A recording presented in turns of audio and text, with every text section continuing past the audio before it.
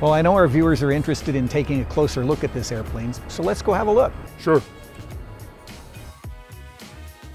This is a very comfortable cockpit.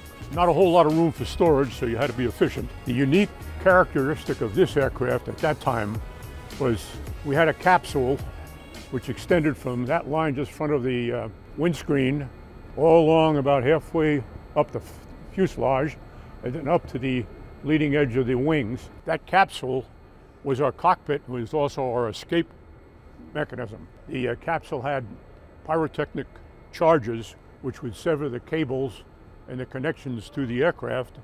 It had a rocket which would fire us straight up, and then three parachutes which would lower us toward the ground, and we had three impact attenuation bags to keep it from banging into the ground.